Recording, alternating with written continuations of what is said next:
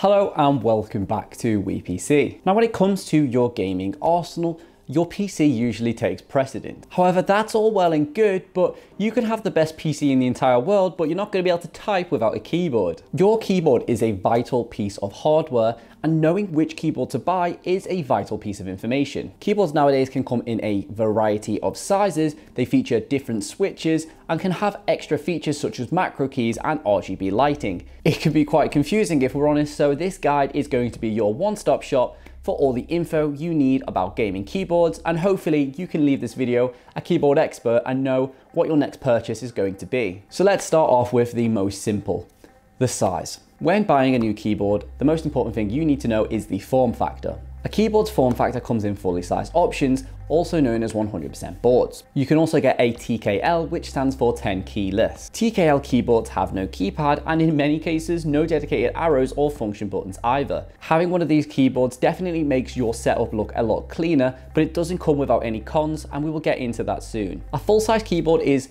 commonly the most bought keyboard and it is exactly what it sounds. These keyboards include arrow keys, function keys, and all number keys you would expect to see on a fully sized keyboard. With these boards, you also have extra room for dedicated media controls and in specific scenarios, macro keys also, for all of you MMO lovers. It is also worth noting that if you're going to get a keyboard, not just for gaming, but also for home office use, you'll most likely want to go and pick a full-size keyboard for those extra keys. This is because TKL keyboards are usually a bit more fiddly when doing things such as editing a Word document. 10 keyless keyboards come in a variety of sizes, including 40%, 60%, and 80%, giving us a nice array of options when creating our perfect setup. 80% keyboards are pretty much identical to a regular keyboard except it has the number pad keys cut off. If you drop lower to a number such as 65% then the directional keys will be squashed towards the end in a much different format than you are used to. Whichever board you choose to go with basically just depends on your specific needs.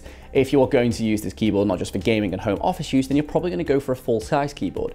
But if you have limited space and you're only going to really use it for gaming, then a TKL keyboard may be perfect for you. Now let's move on to switches. And if you don't know what a switch is, it is the technology that takes place underneath the key. Now there are two main switches. There is mechanical and membrane. The technology between the two is quite dramatically different, but the general rule of thumb is that mechanical is better. Now mechanical switches come in three forms, linear, clicky and tactile. They are all considered very good for gaming, with some being better than others. And the main thing is that they all have different characteristics, including feel, actuation and pressure, and responsiveness. Mechanical switches are generally quite loud, so if you're on the hunt for a quieter keyboard, then knowing what switch is right for you is paramount, because you don't want to go and order a specific switch thinking it's going to be really quiet, and then all of a sudden you are deafening the inside of your office because we have a few people like that at our work we don't like them. Now the most common switch that you will see and hear is Cherry MX. Cherry MX is one of the oldest and is considered to be the forefront of the mechanical switch world and has been popular for many, many years. Let's get to the science on the mechanical switches in case you don't know how they work and why they are so good. Now this is quite confusing, so if you're not really into this, this might go straight over your head, but we're gonna try our best to explain this. Mechanical switches utilize a stem and moving contacts, actuating a key press when the current is broken between the metal contacts. However, on a mechanical keyboard, the switch actuates before reaching the bottom, which allows for a much more responsive and more enjoyable and frankly more responsive experience. And frankly, the most appealing benefit of a mechanical keyboard is its responsiveness and just how great it feels to type. Membrane keyboards have always been known as feeling too mushy and not that great to type on for a long period of time. Now switches aside, it's time to move on to another important factor and that is the features that will come with a keyboard when you are purchasing it. Wrist rests are a common feature, for example, that come with the more expensive gaming keyboards. Now this is a feature that you may not have even thought about, but having a wrist rest is actually an incredible feature and it reduces the stress on your wrists and if you're going to be typing all day, every day, that's one thing that is eventually going to amount up and you'll start having repeated pains and the wrist rest is there to essentially stop that. Other nice features that come on certain boards are dedicated media keys and macro buttons. Media keys make your life a whole lot easier and you may not have even thought about them before. If you're a frequent user of listening to music whilst you work, then having buttons in the top right of your corner to press pause, press play, adjust volume can be a welcomed feature. The same goes for macro keys, especially if you are a editor or even a MMO player,